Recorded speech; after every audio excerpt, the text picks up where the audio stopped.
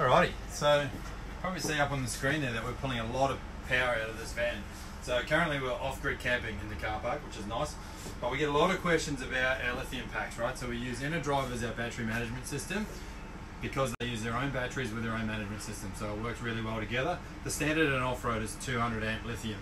When we want to go bigger, we put a 300 amp and it's the white pack. Okay, so the white system's quite a bit different and we need to go to that because of the rate of discharge that we can get out of these batteries from EnerDrive. So when we put the, uh, this is actually a 300 amp battery pack, this is the battery in here.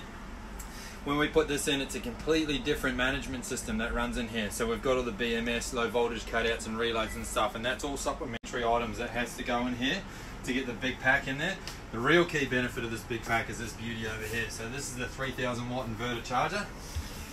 That bad boy right there is currently running our aircon and uh, we want to flick the microwave on, we can do that as well. So she does 3000 watts of power when you're off grid and it does 120 amp AC charge. So if that battery is dead flat, two and a half hours, she'll be full on a generator. So sucks the power and charges it up and just runs this van beautifully. So this is 18 foot six off-road.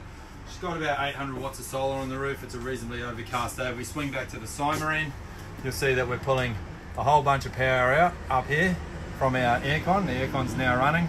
So we're putting in 23 amps of solar charge and our deficit is 50 amps. So it's pretty good really. It's nice and cool anyway, so it's nicely insulated in the zone. Just gonna hang out here a bit longer.